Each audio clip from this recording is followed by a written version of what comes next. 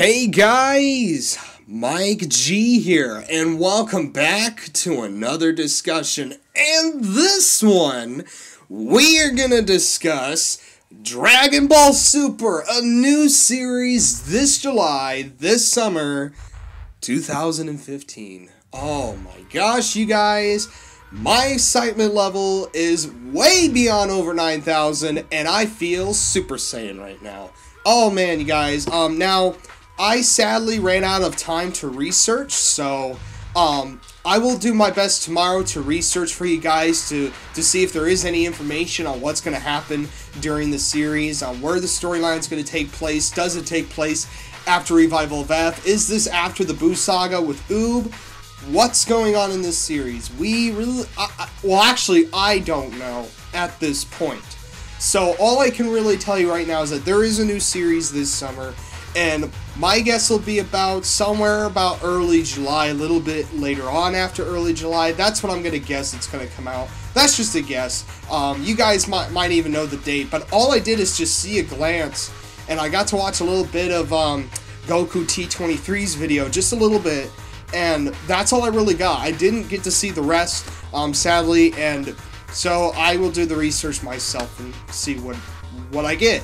So, yeah, that's all I can really tell you. But my thoughts, man, I mean, Dragon Ball Z is probably my favorite show of all time. And, you know, yeah, it's not as perfect as Walking Dead or, you know, your Game of Thrones or anything. I don't watch those, but I do know that those were better directed and better made. But understand that it's like Godzilla, with him being my favorite character of all time. You know, Dragon Ball Z is also just, um, it, it's a nostalgia, and I grew up with it, and I just love the whole entire series.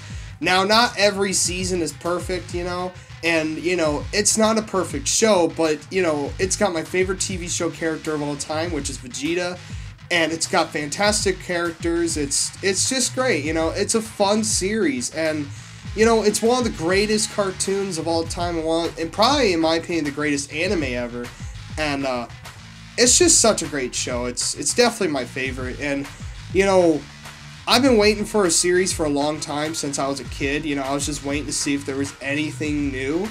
And I just kind of gave up, you know, because they stopped. And then when the movies came out, you know, I was like, man, dude, I forgot all about Dragon Ball.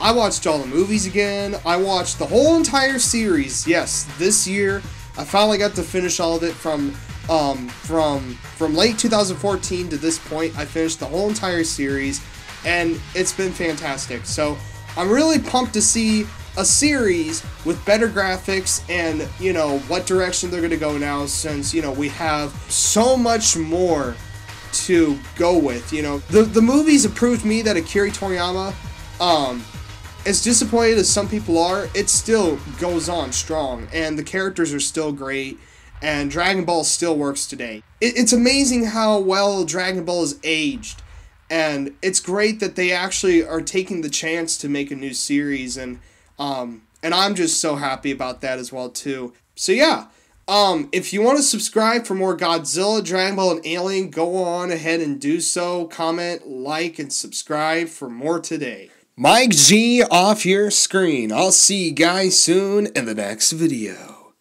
See you guys soon.